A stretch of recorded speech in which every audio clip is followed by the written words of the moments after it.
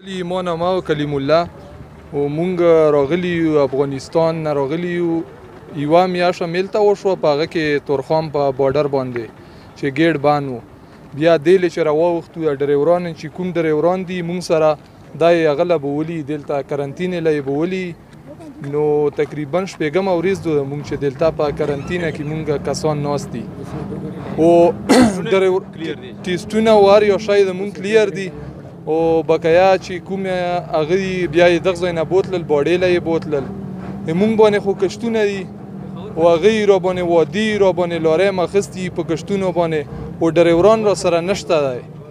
اوس یې مونږ سره دمره ډریوران نشته چې مونږ لارې پی بوزو کراچۍ له دلته را باندې د کنټینرو ډیمورج را رواني او دل هغه چې لارې هغه کو په ډریورانو باندې بیا یو مم چې خرچې را نه خلی خرچې مونږ سره شته نه دی چې خرچې را سره وای په ډریورانو باندې بیم لارې بولې وای تقریبا تقریبا چې 15 لک روپۍ په ما باندې واده او په کور کې مې دوړې پیسې هم نشته چې زه په دوړه راوړم خپل وړه په راوړم ځان له حکومت ته طرف نه خو بس داسې یی ګنټه ګنټه او دوی دوی ګنټه کله چې مزدیګر کله چې سبوی کله چې سبا نو مونږ به زړونه غکړي ور سره پوسونو روپیا مونږ سره اوس نشته چې مونږ په ګټ پوسونه وکړو او لارې کیسټم ګټ پوسونه مونږ په وکړو لارې پیو باسو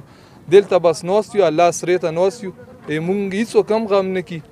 مونږ ایم ان ان هم ډیر خپه یو نور ډیرو خلکو نه ډیر خپه شو یو داسې چې مونږ سره څوک پانی نه راړی دلته نوست یو په خړو خورو کې مونږ دلته نوست یو سره مونږ څو غم نه کی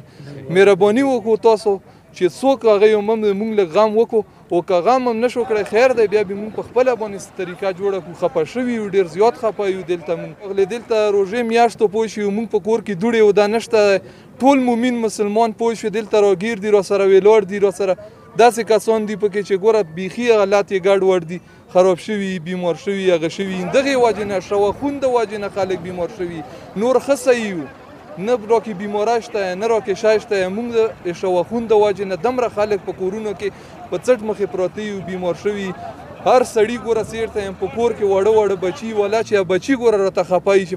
د پلورن برله څه شي ګټي او څه شي برله کی د مجبورۍ د وجې مونږ دلته اوس ناست یو مهرباني وکړو چې تاسو مونږ له خدمت وکړو لږه مونږ خبره واورو